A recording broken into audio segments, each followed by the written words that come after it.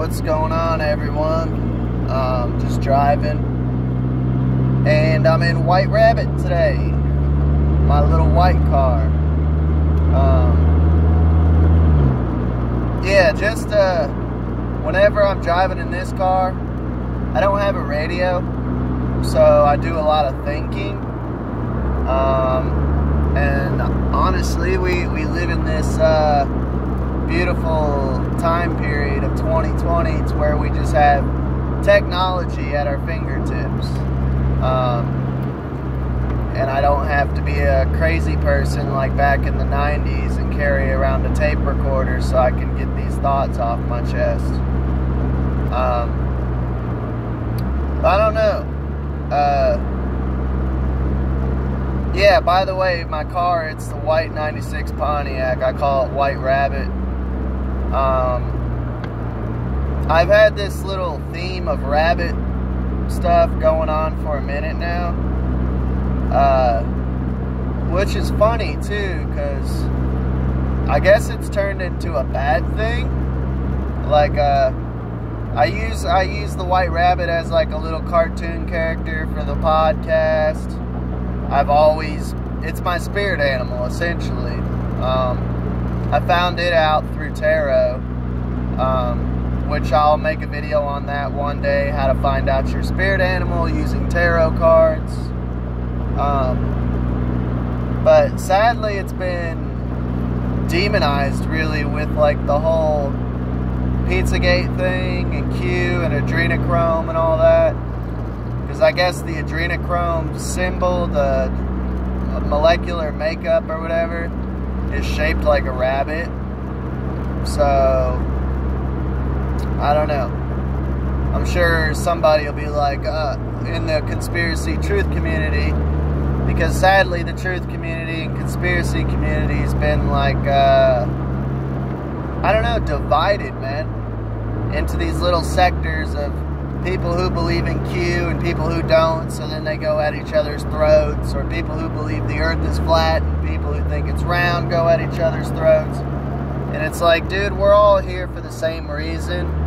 Watching these videos and listening to these podcasts and different stuff because we want to know the truth.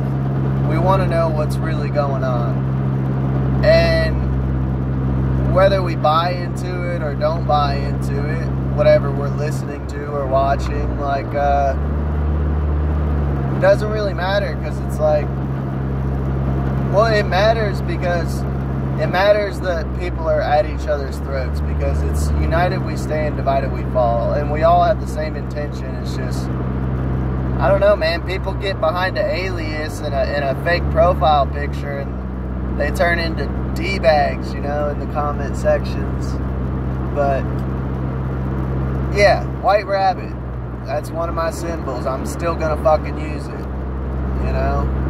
Um, kind of reminds me of I almost named my kid Isis after the Egyptian goddess, and like, I kid you not, like two years later after my kid was born, um, ISIS, the terrorist group, came out, and I'm like, well, it's kind of good I didn't name her ISIS, you know?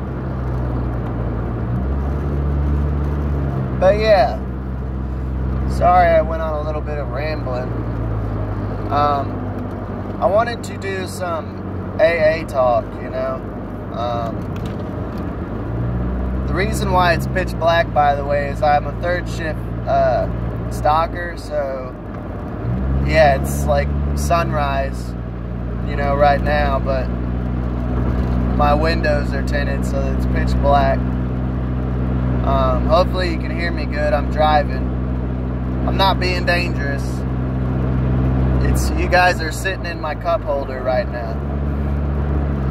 Um, but I wanted a couple things that I haven't been to a meeting in forever because, like I said, I work third shift and all the meeting houses are shut down right now with the corona. So I figured I'm just gonna do some AA talk, you know, on here. Um, I made another video before just talking AA stuff. Uh, but I don't know. You might see a trend in it until the meeting house is open back up again, if they do. Um, basically, something that I was thinking about just working earlier today. Like, my wife put out a podcast without me last night, and uh, turned out really good. I think she did a really good job. Uh, check it out if you want.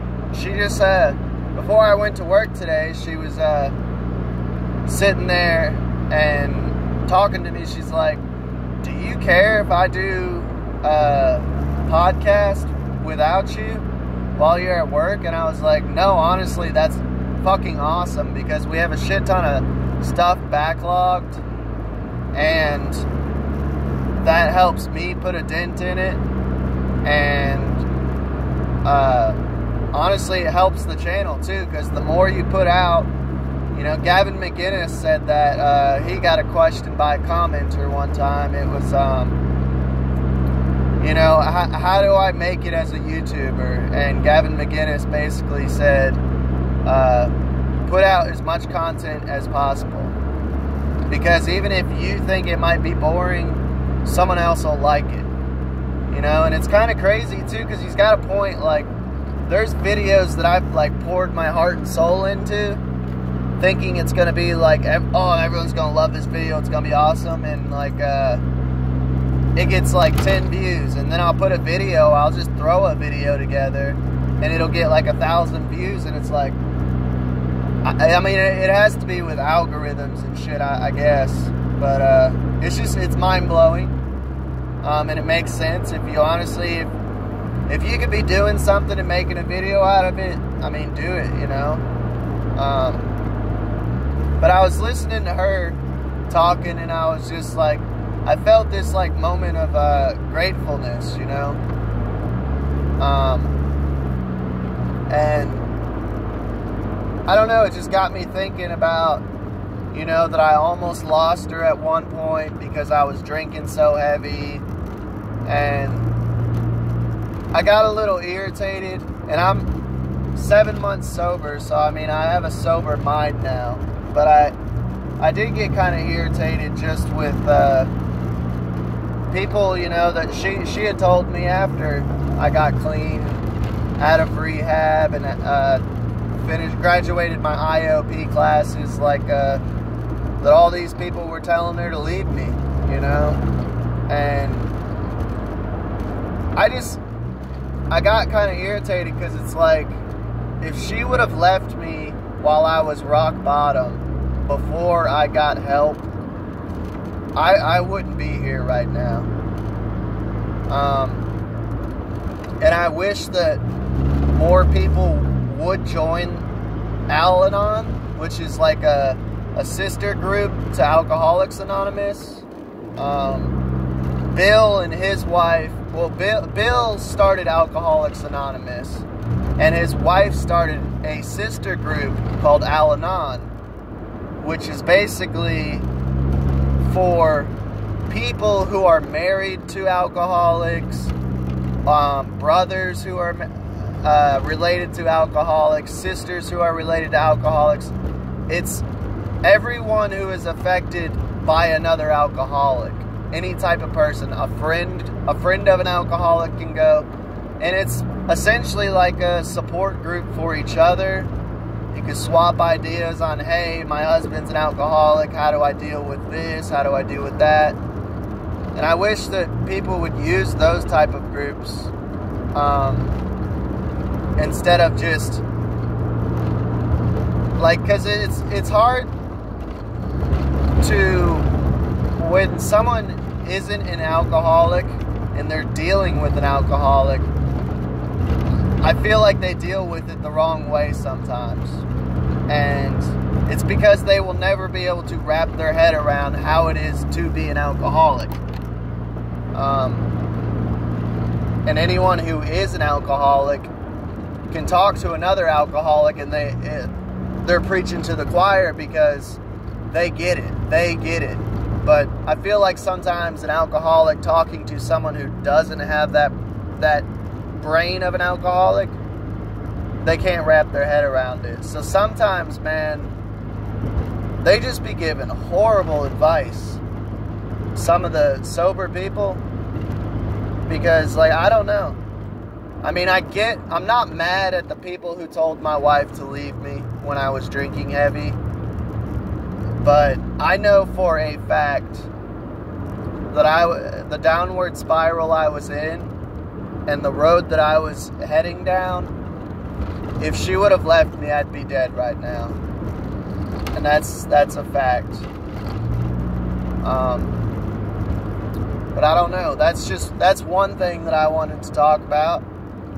And my other thing that I wanted to talk about, and this is more to um, other alcoholics, man.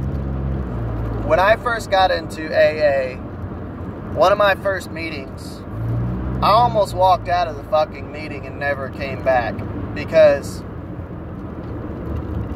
I had went to several meetings of AA before I finally spoke and admitted my alcoholism.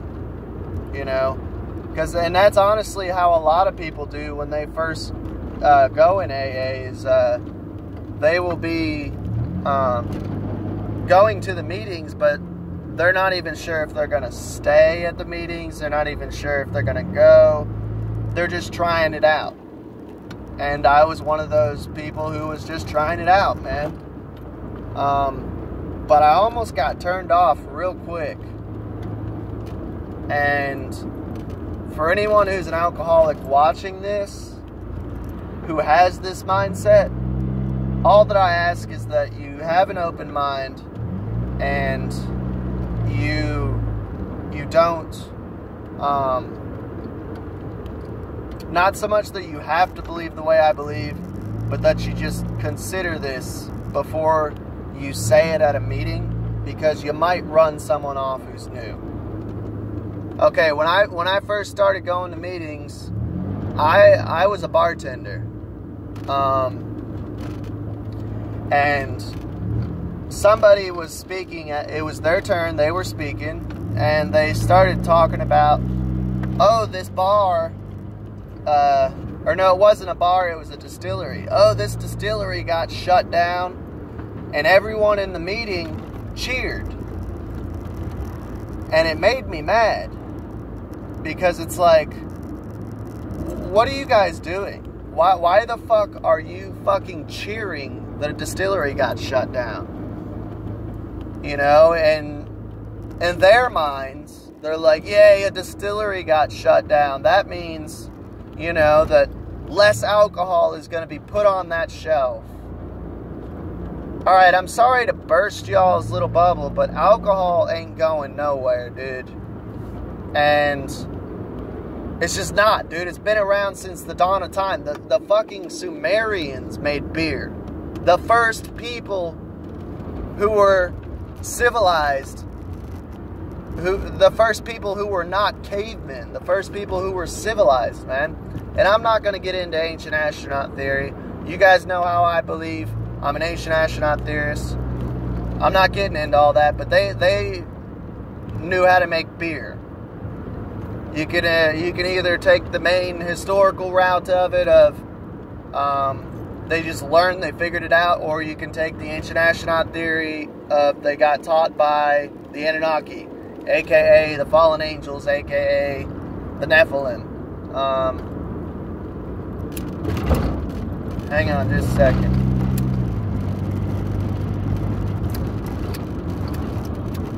Damn, my fucking lighter died.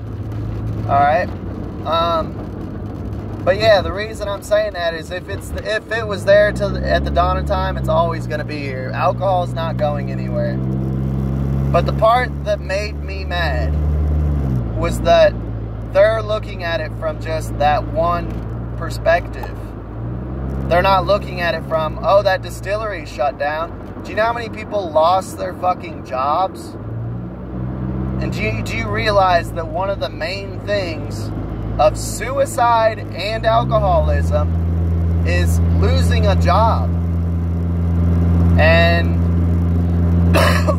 we got this coronavirus going on right now. Do you know how many people have lost their business or lost their jobs? You know?